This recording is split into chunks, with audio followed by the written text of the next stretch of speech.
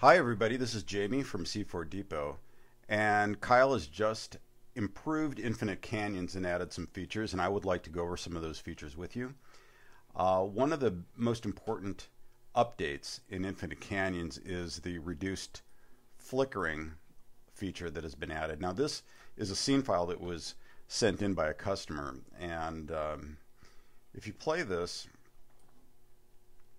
you'll notice where you have peaks and that are in front of some dark areas, you get some flickering where the uh, displacement is pretty extreme. And that looks really actually pretty annoying, I think. And you can see a little bit of flickering going on over here. So Kyle has gone back and made some improvements to Infinite Canyons. And if you're just starting a new scene, it's no big deal. Just open up a new scene and you can start working as soon as you have, you've installed the new Infinite Canyons update. But if you've got an old scene and you'd like to re-render some frames, or if you're halfway in the middle of a project and you want to take advantage of the new Infinite Canyons, it's not sufficient to just delete the old library file and install the new one.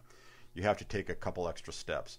So essentially, can, what you really just want to do is you want to install or add the new Infinite Canyons into your scene and link the old camera up to the new one. Basically, that's that's what you're doing. You can do this another way. You can just open up a new scene file, and I'm going to just do that for simplicity's sake. I think it's a little bit easier to, to follow.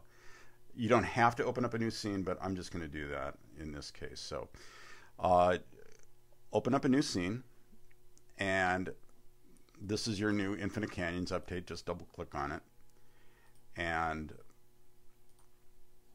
what you're going to want to do is go into the original scene file, which is this one right here, and you're going to want to copy this infinite camera. So copy that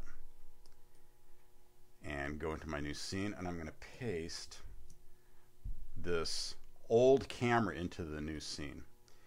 Now, what we need to do is let this new Infinite Canyons camera, the Infinite camera, know the position, scale, and rotation of the old one. So the best way to do that is to add a character tag, uh, which is a constraint, and then go down to PSR and click that on. And the target will be the old camera.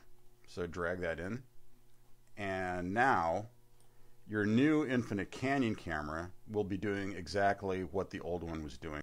There's a couple other things here. The um, original scene file had Daydream from Real Sky Studio, so uh, you want to copy that and go into your new scene file. Paste that in. You're almost done. There's only one last thing that you need to do. Go into the new camera, and you're going to have to load in all of the original presets from the original scene. And I personally think that the easiest way to do this is just to copy um, or make a screenshot of the uh, original parameters and just slide your window over here so that you can see them. And you're just going to want to copy these values. Um, there you go.